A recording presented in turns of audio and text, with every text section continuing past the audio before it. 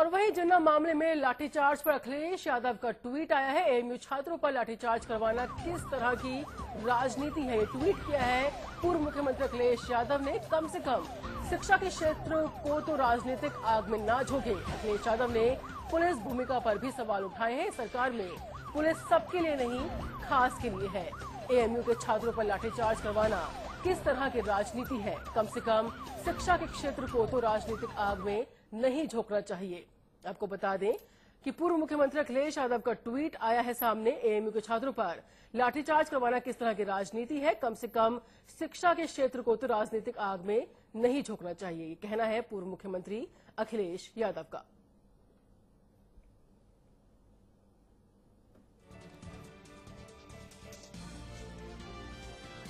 तो लगातार राजनीति गर्म होती हुई नज़र आ रही है। तमाम सियासी दल इस पर अपनी प्रतिक्रियाएँ दे रहे हैं। और अब पूर्व मुख्यमंत्री अखिलेश यादव ने भी ट्वीट किया है कि इस मामले पर राजनीति न हो, राजनीति की आग में ना झोंका जाए इसे।